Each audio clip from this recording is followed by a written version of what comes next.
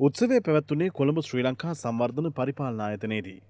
ජර්මානු ජනරජයේ විදේශ කටයුතු කාර්යාලය සහ මෙරට විදුලි බල හා පුනර්ජනනීය බලශක්ති අමාත්‍යාංශය එක්ව තරගයේ සංවිධානය කර තිබුණා. සමස්ත ලංකා මට්ටමින් පැවති තරගාවලියේ අරමුණු වූයේ මෙරට බලශක්ති අරපිරිමැස්මෙන් භාවිත කිරීම සහ පුනර්ජනනීය බලශක්ති පරිහරණය සම්බන්ධයෙන් වන නව අදහස් හඳුනා ගැනීම සහ ක්‍රියාත්මක කිරීමයි. 2017 තරගාවලිය සඳහා ගෘහ ඒකක පළාත් පාලන ආයතන විශ්වවිද්‍යාල රාජ්‍ය ආයතන සහ සුළු හා මධ්‍ය පරිමාණ ව්‍යාපාරික ආයතන 80කට වැඩි සංඛ්‍යාවක් යෝජනා ඉදිරිපත් කර තිබුණා. ඉන් ජයග්‍රහණය හිමි කරගත් ශ්‍රී ලංකා සංවර්ධන පරිපාලන ආයතනයට තමන් ඉදිරිපත් කළ පුනර්ජනනීය බලශක්ති යෝජනාවලිය වෙනුවෙන් රුපියල් මිලියන 10ක් සහ ව්‍යාපෘතිය ක්‍රියාත්මක කිරීමේ තාක්ෂණික සහායද හිමි වුණා. එම ආයතන ඉදිරිපත් කර තිබුණේ සූර්ය බලයේ ජීවවායු සහ බලශක්ති අරපිරිමැස්ම ඉලක්ක කරගත් යෝජනාවක්. තරගාවලියේ දෙවනි ස්ථානය හිමි කරගත්තේ දියගල බෝයිස් ටවුන් කණ්ඩායමයි. දෙවනි ස්ථානයේ මඩකලපුව නගර සභාවට හිමි වුණා. ජයග්‍රාහකයන්ට සම්මාන හා තාක්ෂණික උපකරණ පිරිනැමීම ජනාධිපතිතුමාතින් සිදු කෙරුණා. අමාත්‍ය රංජිත් මදුම් බණ්ඩාර, නියෝජ්‍ය අමාත්‍ය නලින් බණ්ඩාර,